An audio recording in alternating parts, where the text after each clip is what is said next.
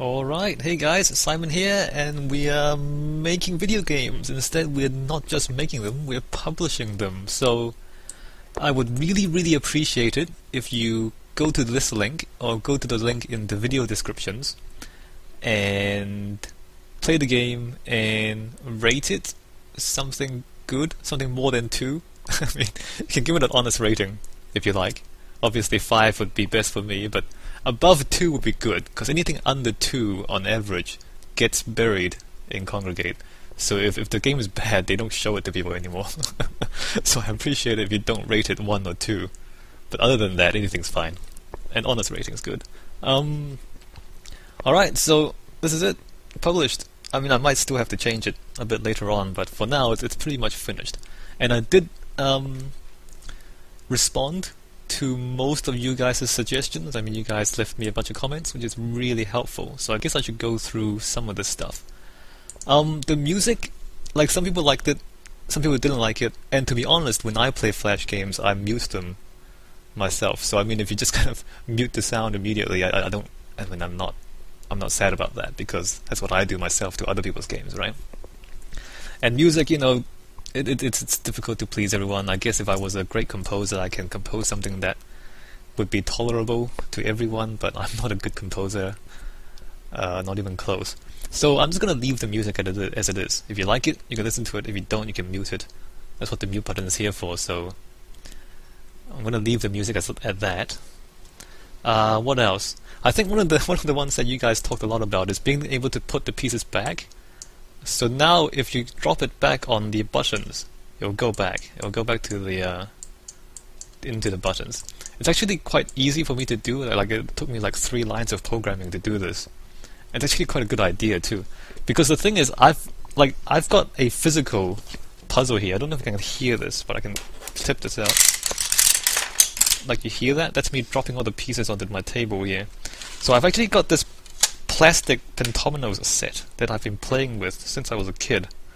And so for me, it's, it's quite, you know, it's quite natural for me to just kind of scatter all the pieces on the table because that's what I do with the real puzzle, you know, with this toy that I have. But, you know, actually, I fully understand that you guys want to clean up your, you know, your board, and so if you want to just put them back, you can do that. Just drop it back in. Great. So that was, that was pretty easy to change, and that's actually a pretty good idea, I think. Uh, Alright, let's just go through some of this stuff. Nothing wrong with the game, music's good and catchy, and tutorial's good. Oh, hints.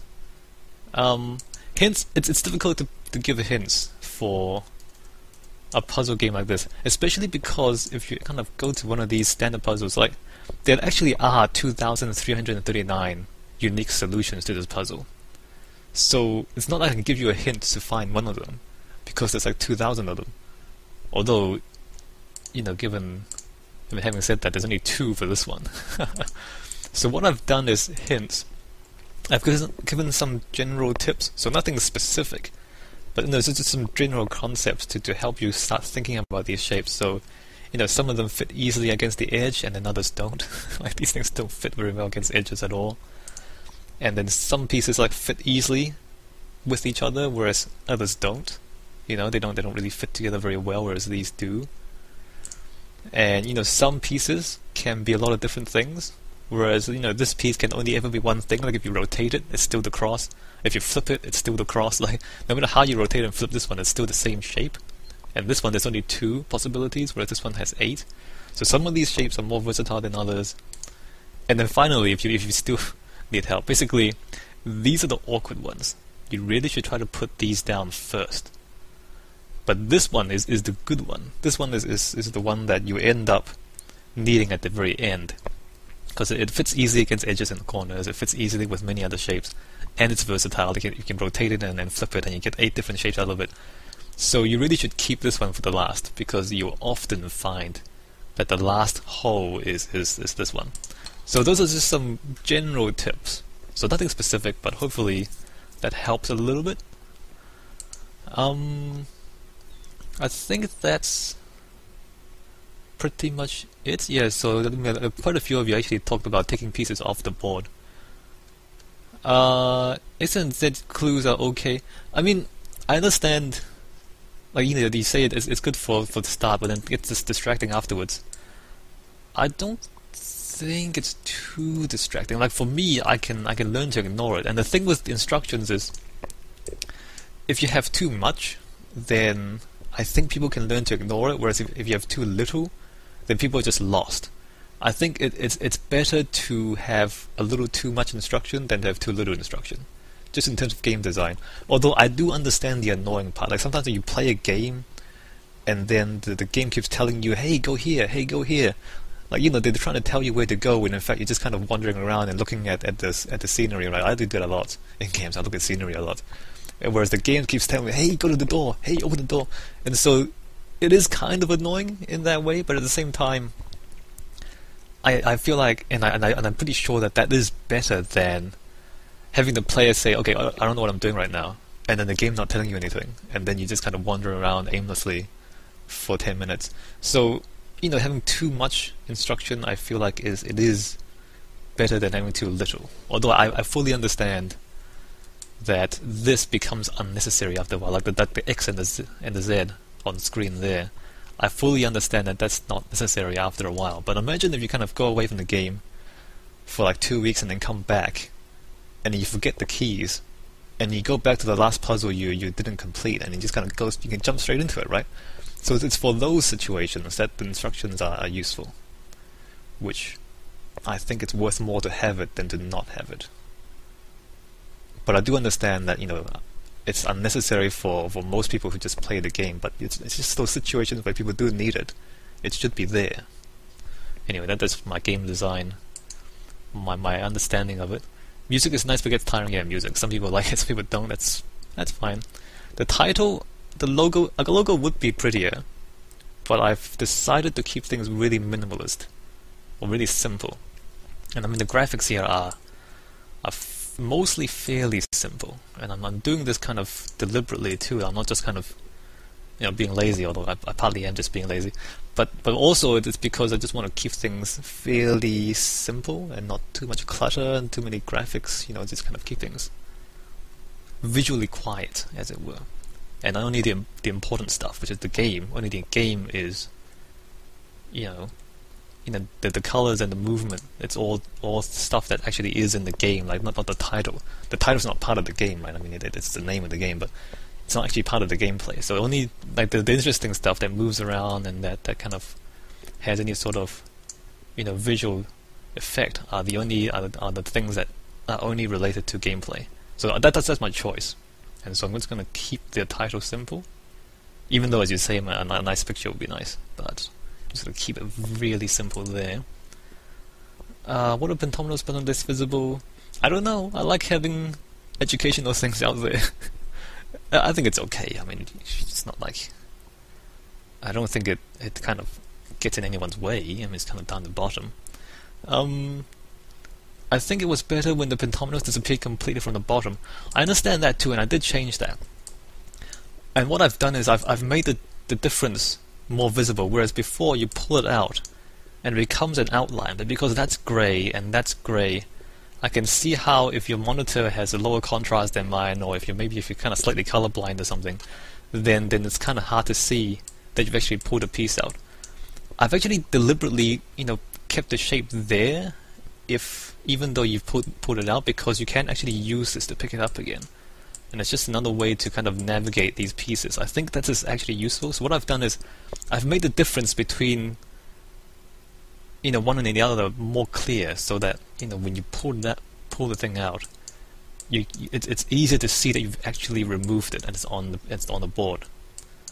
Whereas before it, it's kind of just kind of light grey versus light grey, and it's all kind of looks the same. So I've I've increased the contrast, as it were, between having the pieces in the button and having the pieces out of the button. And hopefully that, that solves that problem because you were saying, well, you didn't say, but some people talked about how um,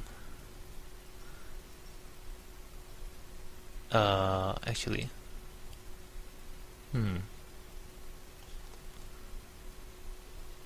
Never mind, I can't find it. But I think the the, the, the problem was that you couldn't tell whether you've taken a piece out or not. Whereas now you can. and and and you can still see that that shape is corresponds to that button. I hope that that makes it better. I think that makes it better. But yeah, okay. Anyway, I'll, I'll stop rambling about that because I mean it, it, looks like you've kind of pulled a hole in the button now, doesn't it? like it's green down there, so it looks like you've kind of just pulled this thing out of the button. So so it's visually it's clearer that you've actually removed it from the button, as it were. But you can still see that you know that that belongs there. Does that make sense? I feel like that's more useful. Um, and then difficulty curve is good, music is good. He says an alternate way to reset the puzzle pieces. Yeah, so quite a few of you say a different way to put the pieces back, and that's actually you know I, said talked about this earlier. It's actually quite cool how you just kind of put them back like that. And it was literally like three lines of code, so it was really easy to change that, to add that in. So they're just gonna drop that back in like that. So that was great. Great idea. Um, and then in Champ 313 says, instead of having a menu screen when you click Quit Puzzle, just have two buttons, one for resetting the puzzle and one for going back to the puzzle menu. I, I understand the idea of making this faster, so you kind of have to press twice to exit. Or you can kind of go in and uh, press twice to restart. I understand just having two buttons making it faster, but the problem with that is people can misclick. So imagine if they kind of accidentally, if they kind of, oh, I'm trying to mute the music, and then they miss, and they press reset, and they're like halfway through the puzzle and they've accidentally reset the thing. That's not good. So anything that has to do with quit game, everything, anything has to resetting the puzzle, like in any game you play, you'll find that, well, in any good game you play, you'll find that you have to click at least twice to confirm quitting the game because you don't want people to accidentally click on it and then lose their progress. So that has to be two clicks. So it has to be a, a, a quit puzzle screen and then click again to get out with the option of going back in because you don't want people to you know misclick the thing and, and, and be really frustrated by that. So yeah, so I understand the um, you know this will speed up gameplay and allow players to jump in and out of levels quickly. As an idea, I understand it, I think it's actually a bad idea because of, you know, as I said, because of the possibility of people missing and misclicking and then accidentally just kind of resetting their puzzles. So, not doing that. Um, and then, oh, markers to show you what level you're on. So edit that too. So here it says puzzle 3 out of 23. And then, you know, at the end it's says 23 out of 23. And then you know 15 out of 23 so I, so I added the, the numbers in so you can see how far in you're in the puzzle because and understand because once you're in here you don't go back to the menu. So you just kind of keep playing and keep playing and keep playing and you don't actually know where you are right? So that, that's an interesting idea. That's a good idea. So I've added you know the puzzle number in so you can see where you are. Uh, hints. Yes I did. And alright. So yeah. So, so thanks for the feedback to the last video. So that was really useful. I think I've improved the game a little bit thanks to you guys. So that's that's good. It's good to get you know feedback. And yeah, so if you can click on the link, play the game, and rate it something more than two, that'd be great. That'd be great for me. So um, all right, I'll stop rambling. And there we go. I published the game. I am now officially an indie game developer. I don't know that if that means very much though. it's actually quite easy to do. I mean, you have to make you have to make games, but these days to publish things is really easy. Getting paid is difficult.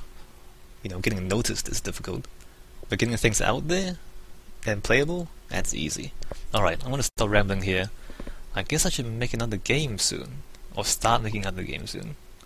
So this was a good, was a good start, I think. I think it's a good start. Alright, um, I'll see you guys later.